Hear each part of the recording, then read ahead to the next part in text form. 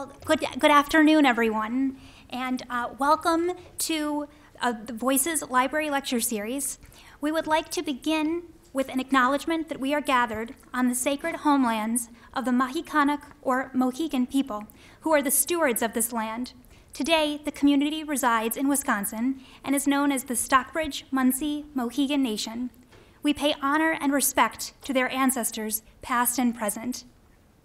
Voices presents speakers on timely and enduring issues each semester to broaden and enrich the scope of studies at Hudson Valley Community College. Please fill out and return the surveys that you were given upon entering the BTC auditorium.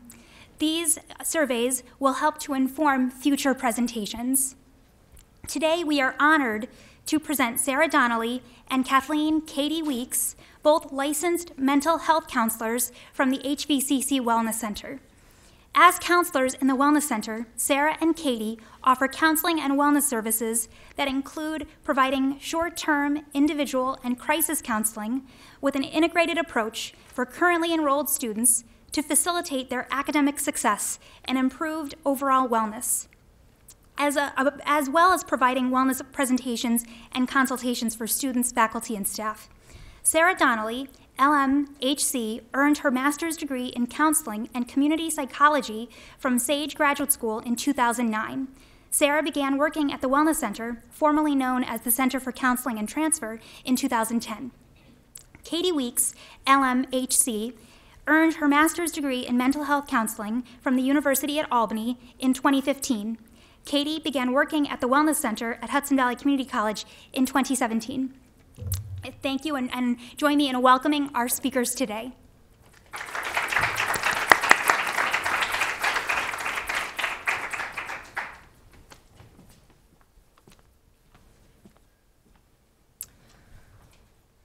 So I'm Sara Donnelly, and this is Katie Weeks, and we're going to be talking with you today about depression, anxiety, and resiliency amongst college students.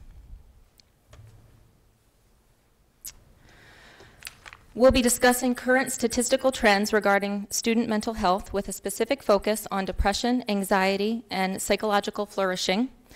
During this presentation, you'll hear us talk about psychological flourishing, and when we are doing so, we're referring to resiliency. Uh, what to look out for regarding behaviors and symptoms associated with depression and anxiety. We'll be going over some basic criteria and symptoms associated with depression and anxiety and we'll be highlighting what's in your folders, which covers various coping and self-care techniques. Uh, what works for one individual will not work for another, so there's, there's various to choose from. And lastly, we'll be talking about the counseling services that we do offer in the Wellness Center.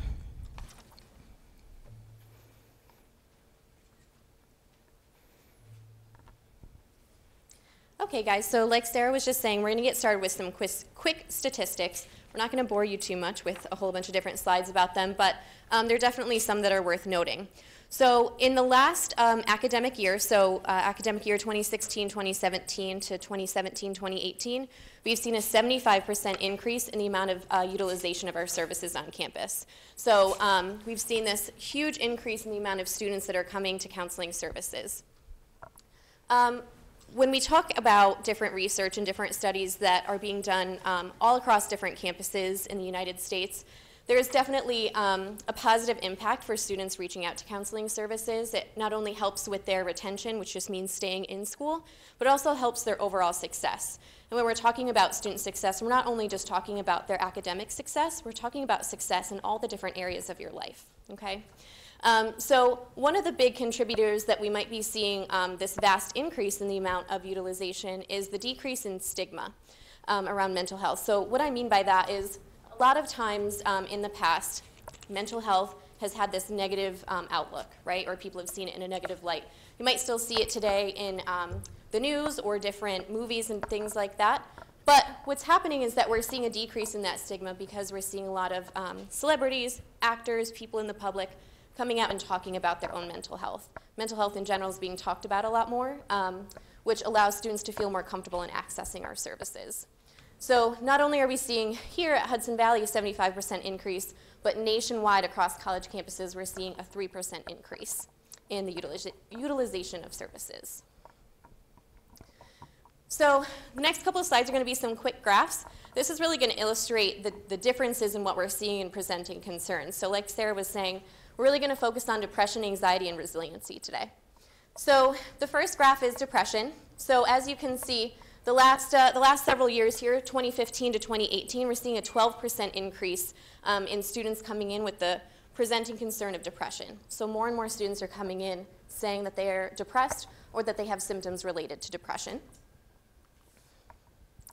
Likewise, with anxiety, we're seeing a 10% increase from 2016 to 2018.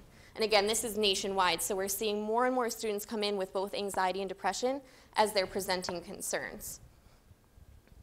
What do you think are some common things that Hudson Valley students might face that might lead to not only the increase in utilization of services, but increase in depression and anxiety? Tests and homework. Tests and homework? What do you mean by that? Um, just the pressure to succeed. Pressure to succeed? Absolutely, that's a big one. Yeah. Just the workload, the volume of work at homework and tests and quizzes you can get. Yeah, absolutely. So the workload, how different is it from high school to college, right? Yeah. So not only do you have a lot more free time and time to kind of structure on your own, but for every, what is it, I think it's every hour you're in class, you're supposed to spend three hours with homework or studying. Have you guys heard that before? It's pretty intense, right? So if you're spending 15 credit hours in class, it's 45 hours outside of class they want you to be doing a week. It's a full-time job, right? Hand up over here. Yeah, 'cause this is college, so it's hard to find a relationship between work and study. Sure. Yeah, so finding that balance. Yeah, absolutely. So community college is a commuter school, right? We don't have um, dorms right on campus, so spending that time between work, a lot of students are working um, or have other responsibilities outside of school as well, certainly. Yeah. Finances, that's a huge one.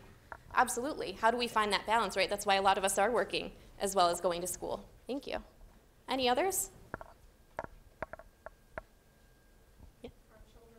Children, certainly. Yeah. So different students that have children or different siblings that they're caring for or even parents or loved ones that they, that they have to care for as well. Absolutely. Thank you guys. So all of those things you mentioned and a lot more different reasons why we're seeing that increase in utilization of our services and students coming in with those symptoms of depression, those symptoms of anxiety, just that general feeling of overwhelm. So it comes along with that, right? So we're seeing the increase in all of these negative symptoms of mental health. We're seeing a decrease in psychological flourishing. So as Sara mentioned, when we talk about psychological flourishing, we're really talking about resiliency.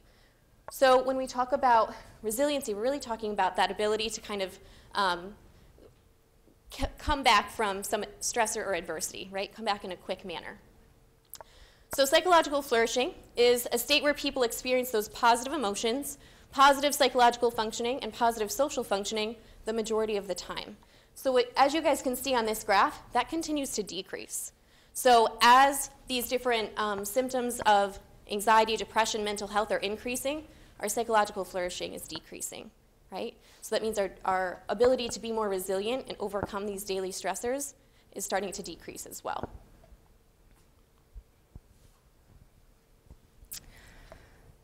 Uh, behaviors and symptoms of depression and or anxiety can um, um, significantly impair functioning, not only academically, but in all areas of one's life.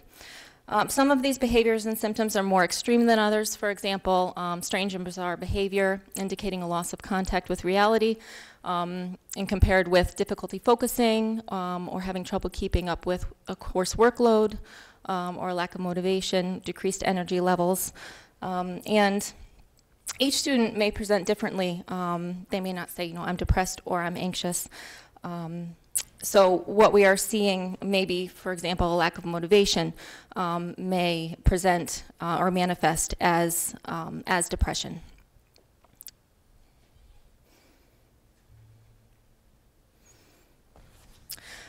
So the purpose of this presentation is really to, to skim the surface surface regarding depression and anxiety and provide a general information of what you may commonly see. Um, and there are various levels of depression. Depression can uh, present differently from person to person. Um, depression is a mood disorder causing significant impairment in daily life, characterized by the following symptoms, um, lasting at least two weeks or more. Um, and so, depressed mood, um, loss of interest, uh, significant weight loss, sleep difficulties, fatigue, and um, there are lots of words describing this um, tree, um, which is characterized for depression, breakdown, miserable, stress, despair, hopelessness, frustration, um, anger, um, and that really illustrates the complexity of the diagnosis of depression. And you'll see anxiety is on here because anxiety and depression often go hand in hand. So as we continue to talk about depression, we want to talk a little bit more about um, some of the demographics and risks for depression. So women are two times more likely to develop depression, and depression is one of the most common mental health diagnoses in the United States today. So about one in every 10 people will experience depression during their lifetime.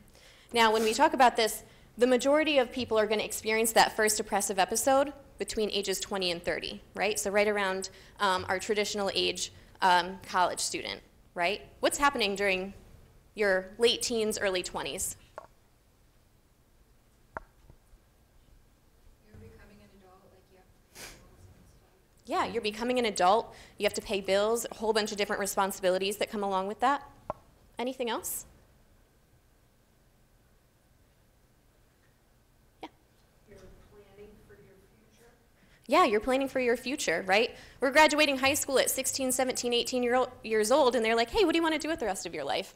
You're like, uh, I'm not sure, right? Trying to figure it out. Some of us might know from the time that we're two years old what we want to do. Others might take three different career choices in their lives, right? Because we're, we're still trying to figure that out. So it's a huge stage of um, development and figuring those different things out. Absolutely. Um, Risks for depression include family history of depression or different similar disorders. There's also going to be um, socioeconomic status, uh, unemployment, social isolation, or other different stressful or traumatic experiences in our lives, and regular drug and alcohol use. And different um, medications or physical illnesses can also contribute to depression as well. Okay.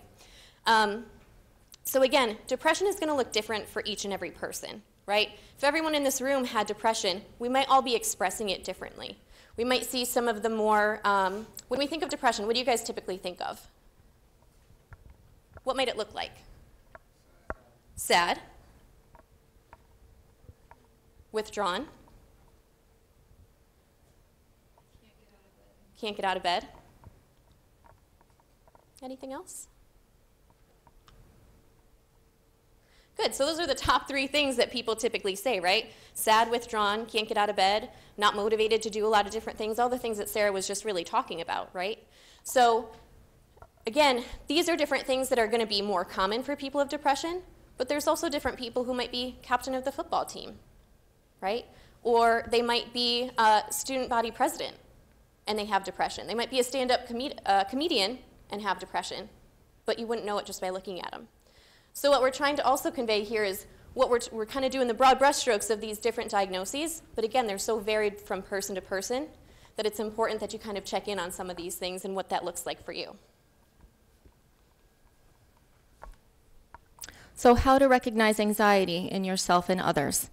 Um, this illustration um, uncontrollable worry, excessive nervousness, uh, problems with sleep, muscle tension, um, poor concentration, increased heart rate, um, having an upset stomach, um, avoidance. Avoidance is a big one um, from fear. And in small doses, anxiety can be very helpful. Um, a certain amount of anxiety is normal, especially when you're a college student. It kind of forces to get your, your coursework done. And it protects us from danger and just helps us focus overall. Um, but when anxiety is too severe, it and it occurs too frequently, it can really become debilitating. So there's this, you may have heard of a, the fight, flight, or freeze response um, to a perceived threat. And this can be an often very intense, instinctual reaction. So we are going to be doing uh, a little exercise, and we're going to be calling 10 of the audience members up at, at random, you know, completely random. All right? Okay. No, no, we're not going to do that. No. we're not gonna. We're not, we're not going to do that to you. We don't like being put on the spot. I would, we would never do that to, to anyone. Um, but um, by a show of hands, who, when I said that, immediately thought like, okay, you know, um, a little uncomfortable, but I can, I can roll with this. If I'm, if I'm picked, it might be fun. Okay, okay. So that would be the fight response. You may feel a little uncomfortable, but you know, hey, I'll give it a try, right? So, by a show of hands, who um, had an immediate reaction that you needed to run to the bathroom or take, pretend to take or make an important call? It's okay, be honest. Yes, that, that would be me. That's, that's, fine. that's fine. I'll, I'll raise my hand. I would do that. Um, okay, and, and how many of you kind of just, and that would be the, the flight, um, and how many of you were just kind of like, oh gosh, what's going on? Maybe, maybe I won't be picked. I'll just, I'll just sit here and, okay, okay. So that'd be more of the freeze kind of. I'll just sit and wait, what, see what happens. Okay. Um, so that is just an example of what you know a quick kind of anxiety response. You may have noticed yourself being like, "Whoa, I didn't sign up for this."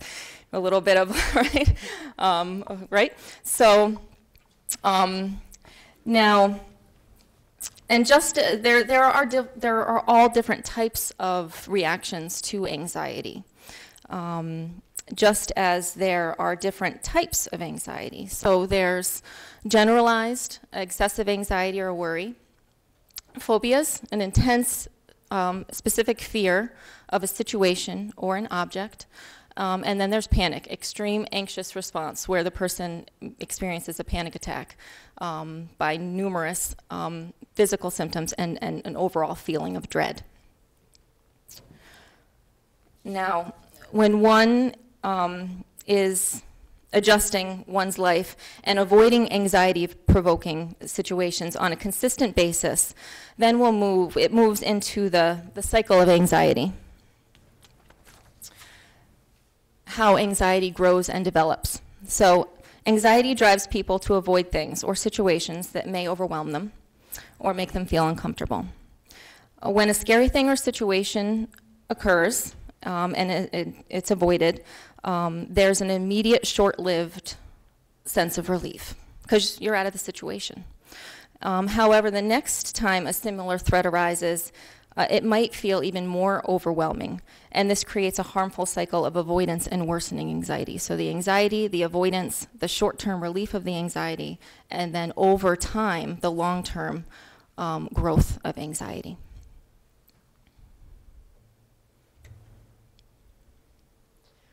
So now that we've talked about anxiety and depression, we're going to ta- talk a little bit about resiliency. So again, like I mentioned earlier, resiliency is really just the, our capacity to recover from adversity or a stressor, right? When we talk about resiliency and we're being resilient individuals, it's something where this is an active, healthy process, okay? So we're doing different things to make sure we're taking care of ourselves so that we're not getting to that feeling of overwhelm um, or stress. What might that look like if we're looking and acting resilient?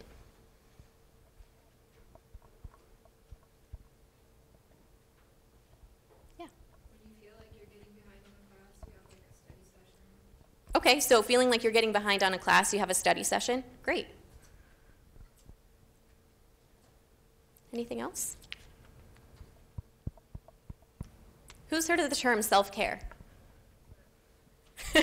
Some of you are like, yeah, that's a buzzword. I hear it all the time, right? So, only a handful of you? Well, fantastic. You're going to hear all about it in a few minutes. Um, so, we're engaging in different self care activities. Again, when we are feeling that stress, it's not something that sends us um, kind of over the edge. We're completely overwhelmed where we feel like we can't accomplish anything.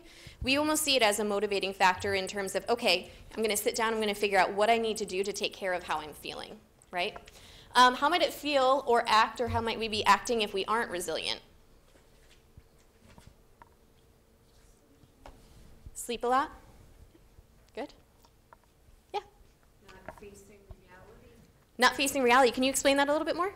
Um, you're hoping things will go away. Sure. But you're making no effort to change. Yeah, absolutely. So, kind of wishing it away and saying, well, I hope something changes, but we're not actively doing anything about it. Good. Anything else? We might start to feel anxious, might start to feel depressed, stressed, overwhelmed. Those are the different things that we're going to feel if we're feeling, um, if we're having a lack of resiliency, rather. So, the interesting thing with resiliency is a lot of times it can almost mirror some of the different um, symptoms that we might be experiencing with, say, anxiety and depression. So, for example, if one of our self care activities is to kind of um, take some time to ourselves, um, kind of reflect on our thoughts and feelings, different things like that, just kind of do some solitary activities. Someone who's depressed, you guys mentioned before, they might isolate, they might withdraw, they might not be showing up to class or having difficulty getting out of bed. So, to an outside person, they might be looking like they're doing the same things. What's the difference?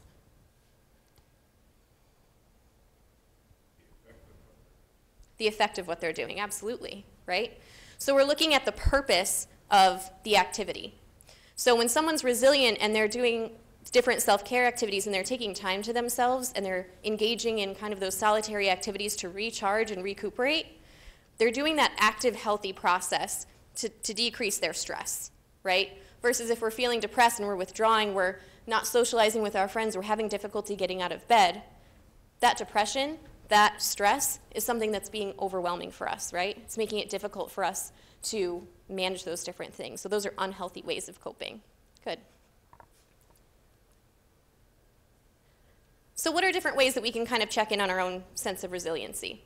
Um, so, in your guys' folders, we have a self care assessment. Um, now, this, this is something you can do more formally, like actually taking the assessment, or this is something that you can do kind of just as a mental check in, right? So, as you notice, you're going to check one, two, or three, um, or put a star next to it, and say, I either do this poorly, I do this okay, or this is something that I do well. As you're going to notice with this self care assessment, it's not just around psychological um, or emotional health, okay? Our first one's actually talking about physical uh, self care. So that includes your typical things that um, you probably heard throughout grade school. Make sure you eat, um, you know, the what is the healthy plate, right? Balanced meals, eating regularly, different things like that. Making sure you're getting enough sleep, but also quality sleep. If you're sick, making sure you're taking care of yourself um, and you're recuperating, different things like that. Exercising on a regular basis as you can. Then we get to that psychological or emotional self care. So, talking about our feelings, um, taking some time off, right? So, that's why we have Thanksgiving break. That's why we have different breaks um, in school, even in middle school, elementary school, high school, different things like that. That's why we get vacation days, right, when we are in the workforce. So, because it's healthy for us to take that time, okay? Um, so, again, expressing our feelings in a healthy way, that could be through talking, creating art, journaling, different things like that. So, taking care of our mental health in that sense. There's also social self care. Anybody heard of social self care before? A couple of us? Good. So, like we were saying, when we talk about our overall wellness, we're not just talking about physical or emotional self care. We're going to talk about social self care. So, meeting new people, spending time with people that not only we like, but we feel good when we're around them. Um, doing enjoyable activities with other people, trying something new, keeping touch with friends that are either here or maybe at another school. We're also going to look at our spiritual self care. So, this can be if you're religious, um, praying or studying the Bible or um, whatever religion that you follow. You might be meditating, spending time in nature, doing different things where you're connecting with yourself, okay? The last one is professional self care. Now, this relates to your career, but it also relates to your ability um, or your current role as a student. How do you think that is? Or why do you think that is?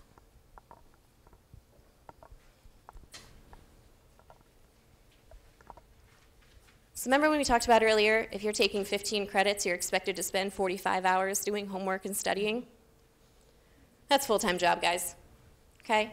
So, in your current role, you want to do these different things. Being able to say no to excessive new responsibilities. Sorry, I can't plan that party. Or, sorry, I can't um, lead this, this group when I'm already, you know, captain of the um, soccer team and I'm in the student senate and I've got my full caseload of classes, right? Oh, and I just got a puppy. Okay? So, different things like that. Making sure we're taking breaks whether we're working or studying. And being comfortable in our workplace, right? So finding good places that you can um, be comfortable studying, different places that you can take a break and relax and kind of reconnect.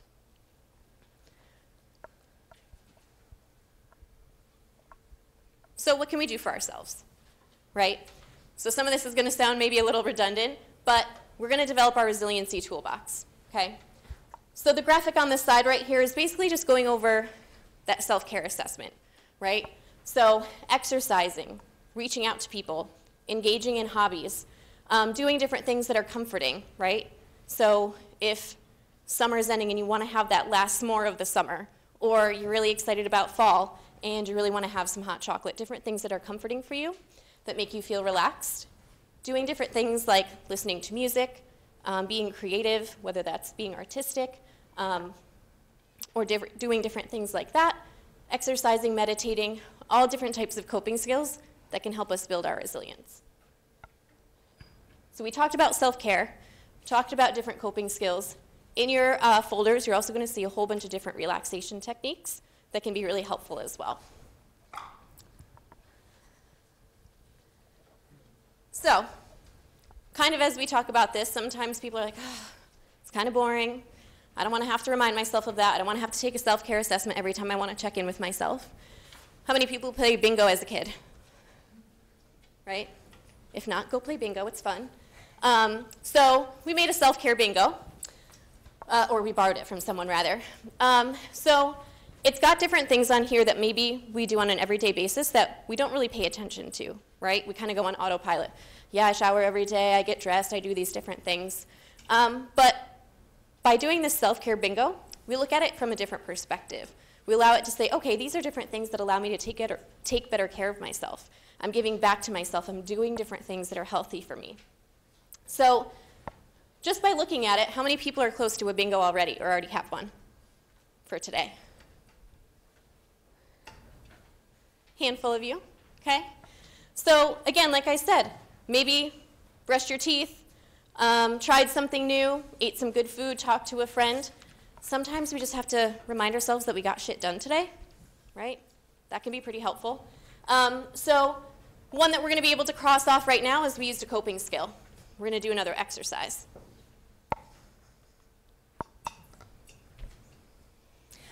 So we're just going to play a five minute guided meditation. Um, how many of you practice any, any type of meditation or, or coping? Oh, wonderful. Okay. Um, so it does, it takes practice. Sometimes five minutes can, can seem much longer um, when, you're, when you're going through it.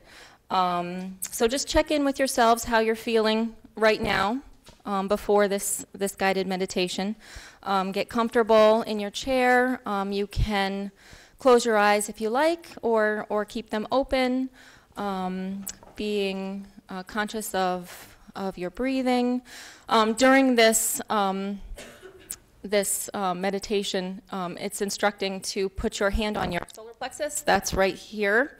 Um, for those of that you those of that you don't know, it is the, the pit of your stomach. It's an essential part of the nervous system um, and preparing the body's um, stress response, which I didn't know that. I had to look it up. So I was, I, we were kind of reviewing it, and it's put your hand on your solar plexus. Can we show that video? Um, so that's what it is. Um,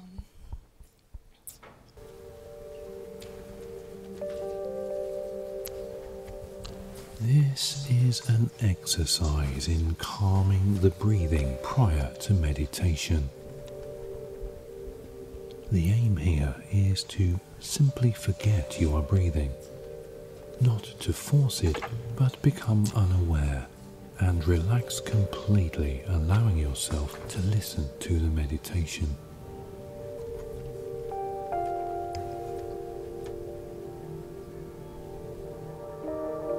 It is important, first of all, to make yourself as comfortable as possible.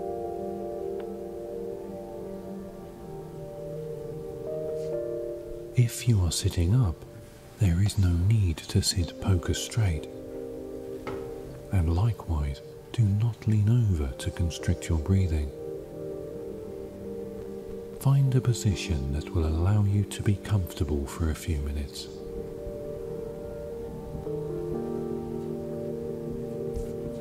Begin this meditation by breathing as normal.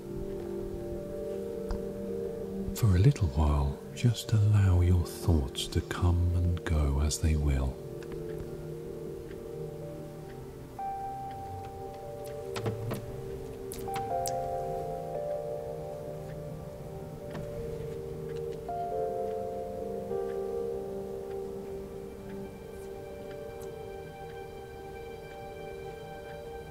Now notice how automatically and effortlessly you have breathing while your mind is skipping through the subjects in your head.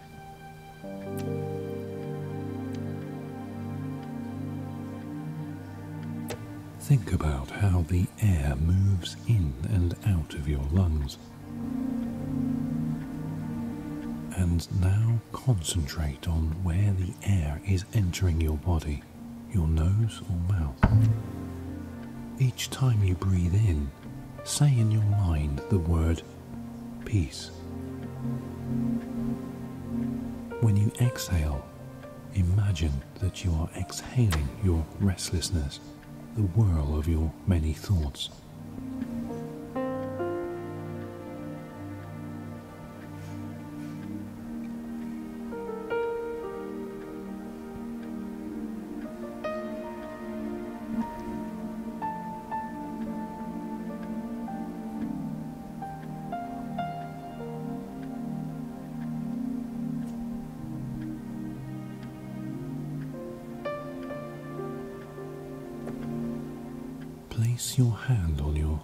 Plexus. Let it rest there.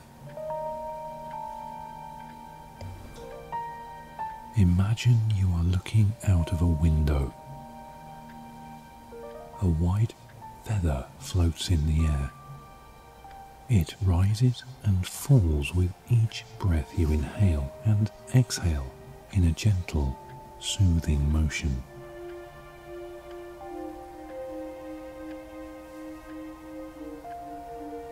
Watch the feather and breathe with it until your breathing calms and becomes relaxed and effortless.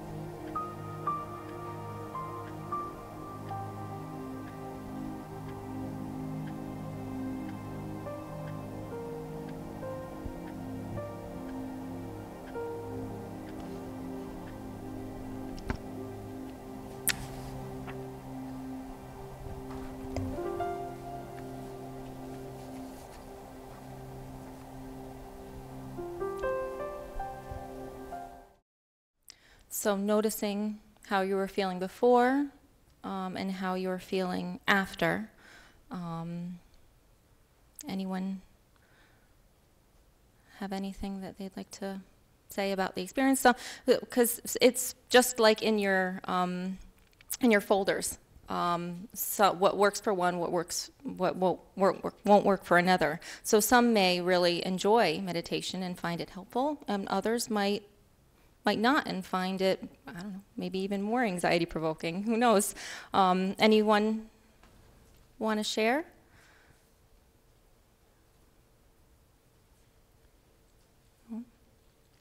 No? Okay. Yes. I felt calm at some time, some points of the video, but then I would notice my own feelings coming back, and I would start to feel more restless. And and so I I think that if I were to do this more regularly, maybe those periods of calm would stay longer. Yes, no, that's a very good point. Yes, it's hard, it's very difficult. It takes practice to quiet your mind um, and quiet those thoughts that like to keep um, intruding, right? When you're when you're just trying to to relax and focus on your breath and kind of it's kind of like a preset kind of presets you in a day. Thank you.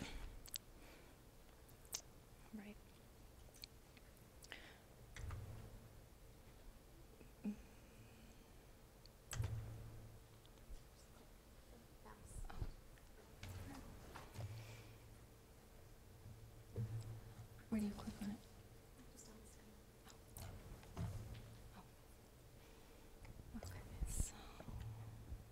All right, so if a student is still feeling um, overwhelmed, anxious, or depressed, um, our students can access our counseling and wellness services um, at the Wellness Center. Um, so we uh, focus on mental, emotional, behavioral, and interpersonal functioning um, so that you can affect, um, ac- achieve academic success. Um, and this, all of this also is in a brochure in your, in your folder, all of this information. So our location and hours. Why see a counselor? For a number of reasons. Um, really, uh, family, relationship concerns, uh, difficulty concentrating, grief, managing stress, it's a big one. Um, problems with anger, um, anxiety, depression, that's we we're talking about today. Just feeling overwhelmed, um, really, just a, a gamut of, of what we um, see.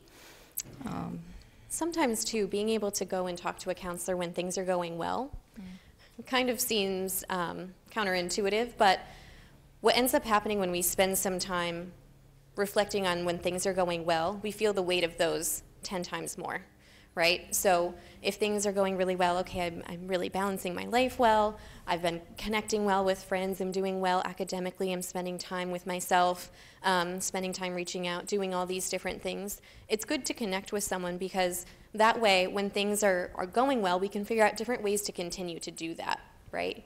Um, which can, again, be just as impactful as going to a therapist to talk about, okay, why are things not going so well?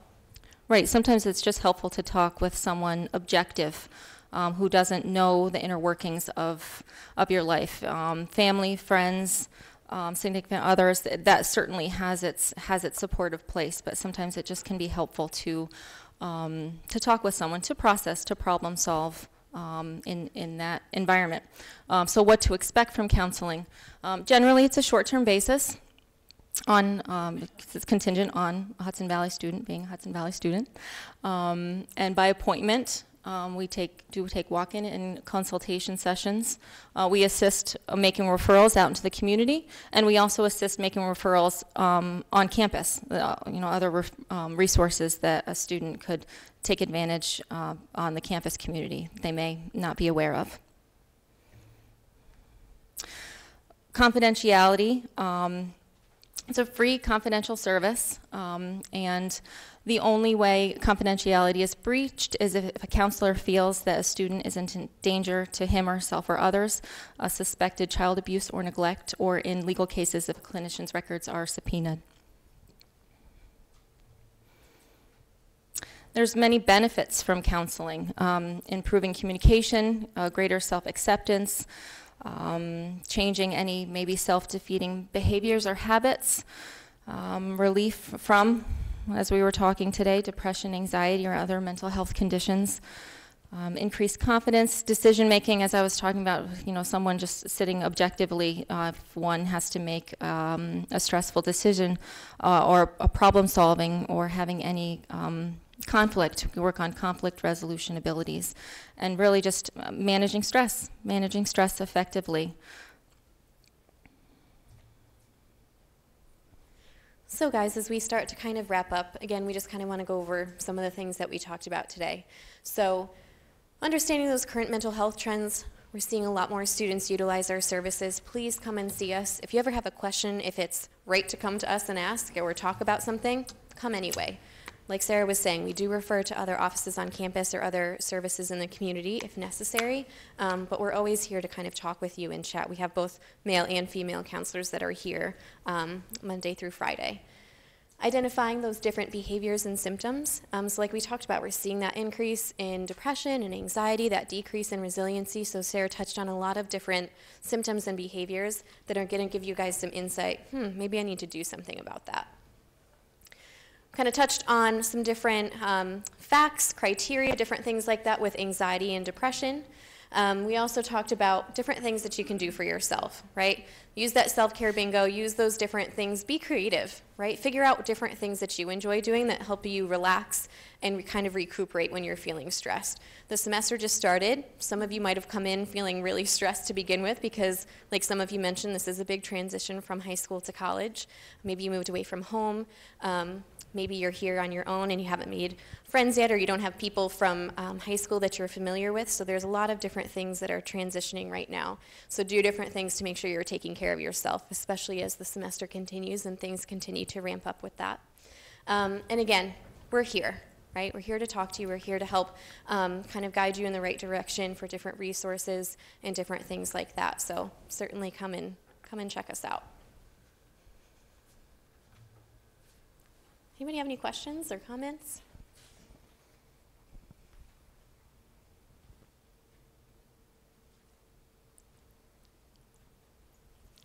Okay. Thank you guys so much Thank for you. coming. There is a question. Oh. Pause. It's actually not a question, it's just a plug. If anybody liked the channel that did the um, meditation, they're called The Honest Guys, and they have endless amounts of meditations in terms of length and time.